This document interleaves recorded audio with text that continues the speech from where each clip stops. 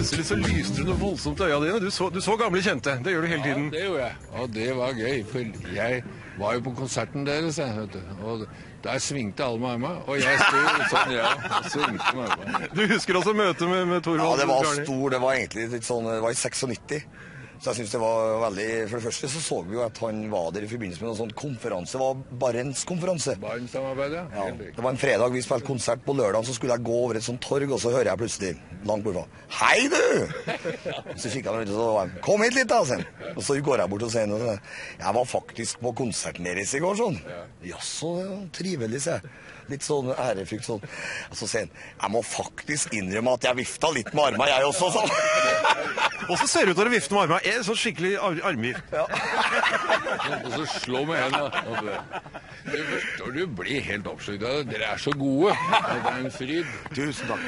Dere har hatt en fantastisk sommer på veien, skjønner jeg. Ja, Det har vært helt utrolig. Vi har ikke opplevd maken på de ti årene vi har holdt på. Så folk går mer eller mindre mann av huset for å oppleve akkurat det som Thorvald snakker om. Det, det er nok noe eget, har vi skjønt etter hvert når vi spiller opp til konsert eller dans, eller hva du kaller det. For det, det, det står jo ikke sånn aleine, vet du. Nei, nei, jeg gjør ikke det. hadde blitt satt inn. det, det er jo det med dere også, at dere spiller altså svært levende. Dere tør det mange andre ikke tør, liksom. Det er bare å gi jernet og være seg sjæl. Ja, det, det står jo klar, liksom. Dere tør nå også. Ja, vi, nei, det er jo det vi gjør. Så vi er jo kanskje en del av den gamle tradisjonen at uh, musikk er levende, og det skjer der og da, og det har vi tenkt å fortsette med. Det må bli vinsja på kaia. Selvfølgelig må jeg bli der, så her. Vi er klare, vi. Kom igjen. Vi det spilte aldri så vakkert som din på kaia. Finast parfymen lukta av olje og sjø. Men alle blir med sånn, vet du.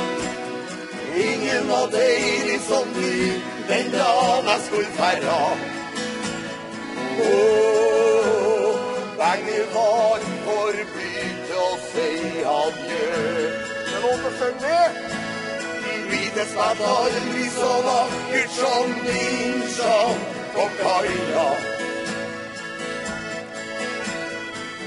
og parfymen var lukta olje og sjø.